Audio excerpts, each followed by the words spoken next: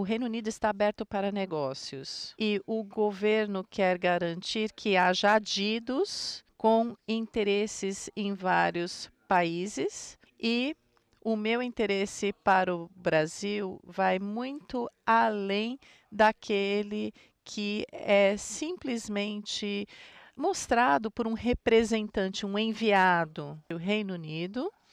tem oportunidades fantásticas para oferecer ao Brasil e o Brasil tem oportunidades fantásticas para oferecer, não só para o Reino Unido, mas globalmente para todos os países. E o que eu posso lhes dizer é que o Reino Unido